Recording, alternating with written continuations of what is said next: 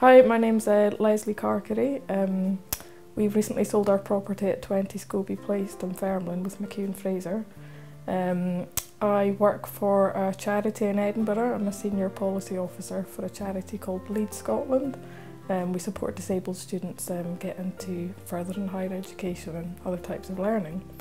Um, we were looking into putting our property on the market a couple of months ago. We decided to get quotes from three estate agents to come round to the house and give us a valuation of the property and also an idea of the, their fees and the sorts of services they would provide. So we got quotes from three local estate agents in Dunfermline. Um, McEwan Fraser actually came in the most expensive, but because we were so impressed with the services that they offered and everything seemed to be very high quality and it was just what we're looking for, we decided that we'd pay that little bit extra to get that better service also in the hope that we might sell the property a bit quicker. Um, so we were also quite impressed by the fact that McEwan Fraser do a, an online message board, which meant that we could have a, a daily sort of update of how the process was going in terms of getting the house on the market. Um, update on things like feedback from viewers and just a general update on everything to do with our sort of case study or our um, case. We were assigned a sort of case administrator who was the one person at McEwan Fraser who we could phone if we had any questions or concerns about the way that our property sale was going. Um, the, our house was on the market for just under six weeks before we got an offer. We had 33 viewings over that period. Um, at one point I was getting quite stressed out, I couldn't handle any more viewings but it's not the sort of thing you should complain about when you're selling a house.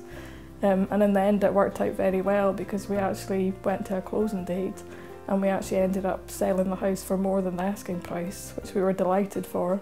And uh, obviously it's unheard of these days.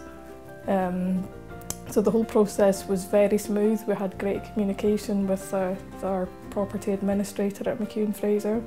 Um, I liked the fact that I could check the message board whenever I want to check on feedback.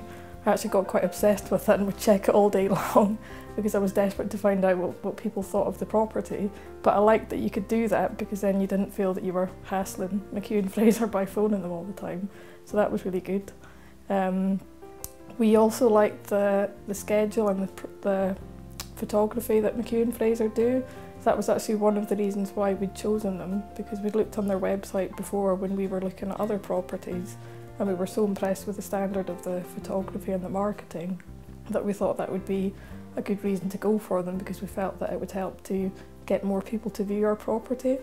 Um, quite a few people who came to the house um, actually commented on the photography Um, my only slight criticism would be criticism would be that they made the rooms actually look a bit bigger and nicer than they were, um, but that's not a bad thing because it meant that we got lots of people through the door. Um, we have sold the house now and we've actually bought another property which was also on the market with McHugh Fraser. Um, again, anytime we contacted them, the communication was excellent um, and we really felt it was a, a high quality service. McEwan Fraser Legal, raising new standards in estate agency.